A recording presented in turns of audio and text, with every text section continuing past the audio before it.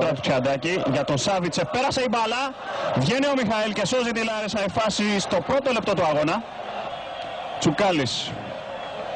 Η μπάλα στον Αγορογιάννη επαναφέρει κεφαλιά και παραλίγο να γίνει το γκολ. Και να δούμε τι γίνεται στον Αναστόπουλο πέρασε η μπάλα.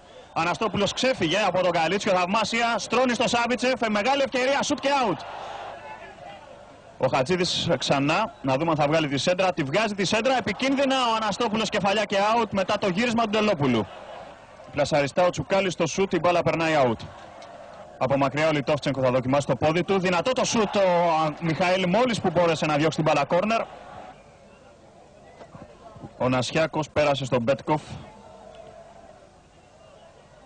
Η σέντρα του Πέτκοφ θαυμάσια εκεί που κινείται ο Μήλος. Δεν υπάρχει offside του Μήλος. Στρώνει για το Στόικα. Γίνεται η κόντρα και διώχνει εκεί ο Βλάχος. Η καλύτερη ευκαιρία για τη Λάρισα στο 43.